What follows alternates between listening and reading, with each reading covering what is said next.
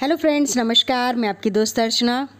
आज मैं आप लोगों के साथ शेयर करने वाली हूँ कि आप अपने घर में केक जब बनाते हैं तो उसके लिए एकदम परफेक्ट विप्ड क्रीम कैसे तैयार कर सकते हैं?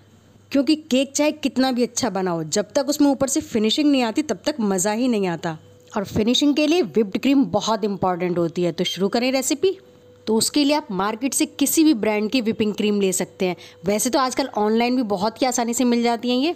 अब सबसे इंपॉर्टेंट बात, अब जब भी कोई भी विपिंग क्रीम लेंगे, उसको हमेशा फ्रीज़र में रखेंगे और बिल्कुल सील पैक करके रखेंगे। और जब भी हमें इस्तेमाल करनी है तो बिल्कुल ठंडी ठंडी ही इस्तेमाल करनी है फ्रीज़र से निकाल के। क्योंकि अगर आपकी क्रीम ठंडी नहीं है तो वो अच्छे से कभी नहीं फिटेगी। इसलिए बिल्कुल ठंडी होना बहुत ज़रूरी है। अगर आपके यहाँ गर्मी ज़्यादा है तो आप किसी बर्तन में नीचे बर्फ़ भी ले सकते हैं। उसके ऊपर आप ये बर्तन रख के जब इसको फेंटें। मैं यहाँ इलेक्ट्रिक बीटर से फेंट रही हूँ। आप चाहें तो इसको हैंड विस्क से ही फेंट सकते हैं। जो भी आपको कंफर्टेबल लगे, आप वो लें और इस चीज़ को फेंटें। और इसको लगातार हम इस तरीके से चलाते हुए फेंटेंगे। पहले थोड़ा स्लो में फेंटूँगी, फिर उसके बाद थोड़ा फास्ट क्योंकि धीरे धीरे फूलती है और फ्लफ़ी होती रहती है। ये देखिए, मैंने एक कप के करीब ली थी और ये देखिए, फूल कर कितनी ज़्यादा होती जा रही है इस तरीके से। जब आपको इलेक्ट्रिक बीटर हटाना हो तो इस तरीके से आप ऊपर करके एक सेकंड के लिए खाली चला दीजिए तो सारी क्रीम हट जाती है। अब मैं आपको देखिए हैंड विस्क से फेंट के दिखा देती हूँ। आप इस तरीके से एक ही डायरेक्शन में फेंटें तो बिल्कुल परफेक्टली आपकी फिट कर आ जाएगी।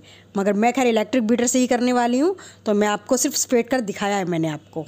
और हाँ विपिंग क्रीम में काफ़ी वैरायटी भी आती है आजकल। अगर आपकी विपिंग क्रीम मीठी और फ्लेवर वाली है तो तो कोई बात नहीं, आप ऐसी डायरेक्ट फेंट लें। अगर आपकी विपिंग क्रीम मीठी नहीं है तो इस स्टेज पे जब ये देखिए फूल चुकी है, अब मैं यहाँ पे पाउडर शुगर आप इस्तेमाल कर सकते हैं। और उसके बाद फिर हमें जब तक फेंटना है, जब तक कि अच्छे से थिक ना हो जाए।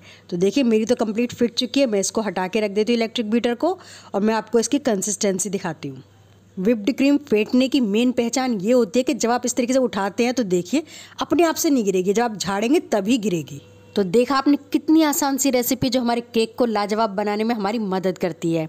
उम्मीद करती हूँ कि अब आप लोगों को घर में केक के लिए विप्ड क्रीम तैयार करने में बिल्कुल भी परेशानी नहीं होगी।